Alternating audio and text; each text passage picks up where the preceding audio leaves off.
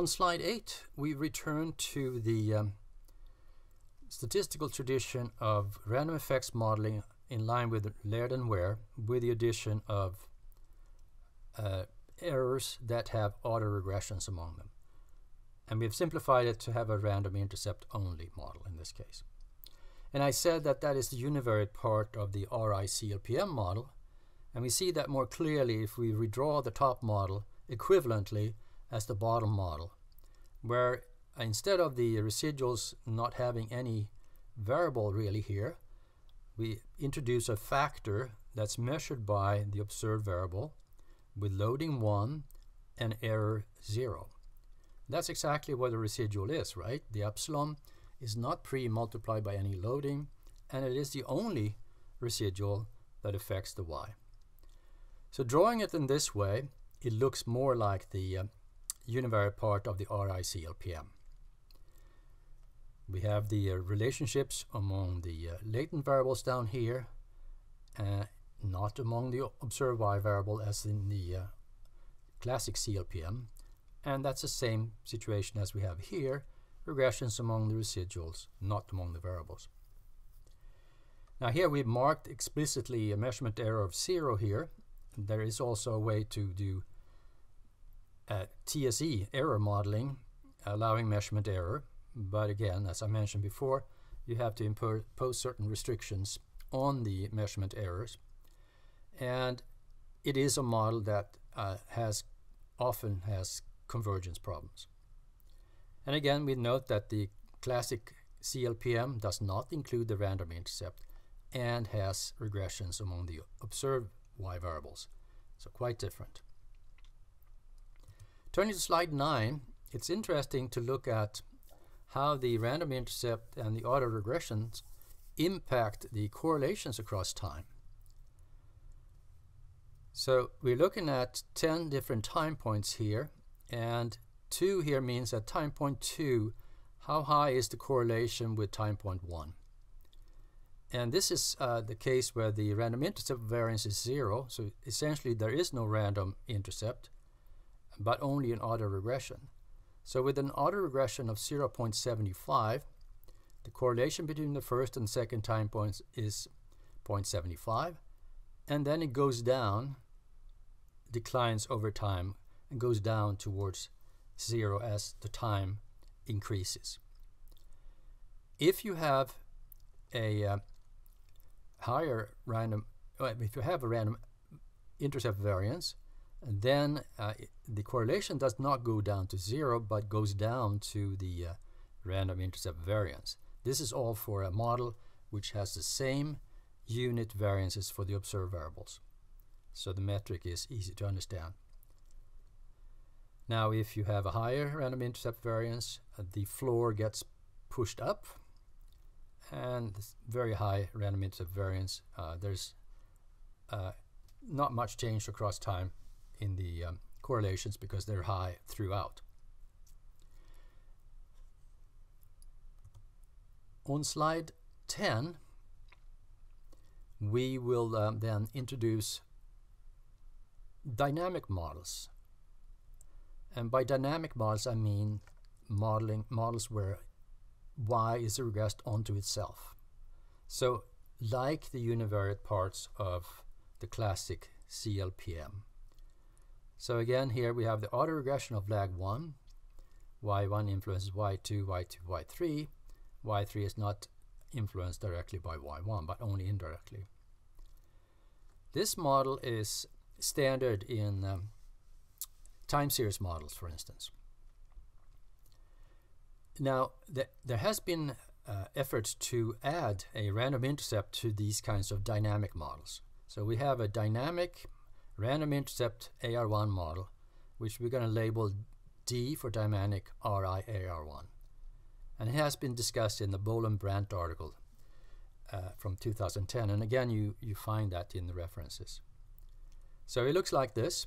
You have the uh, characteristic of regressions among the uh, observed variables uh, although you have a random intercept as well. So the random intercept um, so the correlation across time or influence of i across time uh, goes through the y variables and um, through the not only influences y1 but also y2 indirectly through y1 and directly. So it has a different structure altogether than the uh, RI CLPM model. Now there's also a so-called ARMA version of this. All of this comes from the time series literature and ARMA means uh, AR, autoregressive, moving average model. It has been discussed more recently in the Zyphur and others uh, article or articles in ORM. So the idea is that you have the uh, model up here, but you add the fact that the residual of y1, or more easily seen here, the residual of y2 influences the observed variable at y3. So y3 is influenced by y2, the previous variable, the variable at the previous time point, and also by its residual. Very often that influence is negative, so that, for instance, if you have had a particularly high value on y2 on y at time point 2, that is the residual has contributed more here, then you will get a lower value of y3, so sort of going back towards the uh, what it was before. Okay, on slide 11 then, we are introducing in this paper, in this new paper, uh, RI ARMA modeling.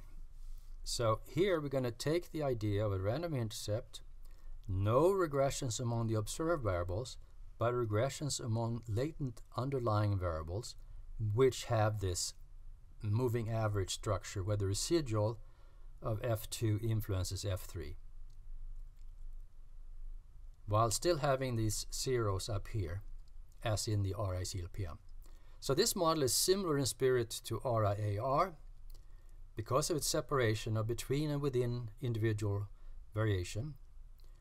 Also referred to as latent centering as we discussed, that is centering using the random intercept I. But it adds this MA component to the model. And that has proven in our investigations to be a useful addition, necessary addition to fit models well when you have uh, many time points, when you get closer up to 10 time points. Perhaps you need it from, say, 7 through 10, whereas 3 to 6, you can, um, 3 to 6 time points, you can fit the model well using RI CLPM.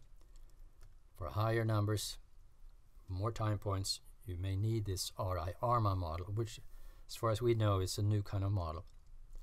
And there is an equivalent measurement error version, just like it is for the RICLPM. And we call it RIMEAR, where ME stands for measurement error. And that's actually a model that's more general than the TSE model.